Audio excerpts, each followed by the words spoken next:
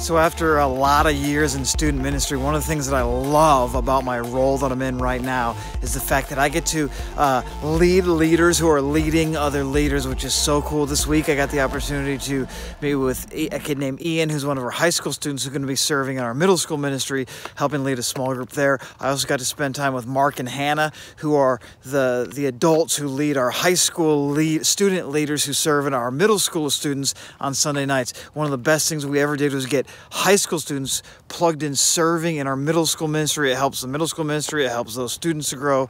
Amazing. But Mark and Hannah lead that team. And then I got to meet with Preston, uh, who is a, one of our coaches. He's leading a group of like nine or 10 small group leaders in our high school ministry. And so I just love getting to take the, the years of experience I have and just help other leaders who are now leading leaders who are investing in the lives of students.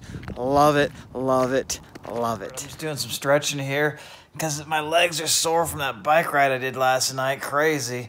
Um, been a pretty chill day. I'm tired because I was up so late riding last night. But uh, Fridays is like technically our day off uh, for, for the student ministry here at Day of the Bible.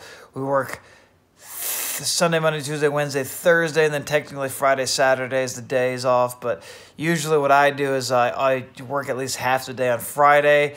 Uh, it's a great day for me to do some sermon prep, which I was working on a lot today, and some other like stuff that I just need to work on by myself. Sometimes I'll meet with leaders on Fridays, but then part of the day I'm usually exercising or cleaning my house or something like that as well. So, so I'm chilling at my kids' school right now. They're having a movie night. I just snuck over here to to film really quick and what's on my brain at the end of this pretty chill day is uh, i'm trying to figure out how to take the the abstract idea of the kingdom of god to take and apply this to middle school and high school students in a way that makes sense to them. So I'm trying to come up with an image uh, to put with that abstraction of the kingdom of God to make that become real and come alive and, practical in students' lives. So stay tuned for how that turns out in a couple days.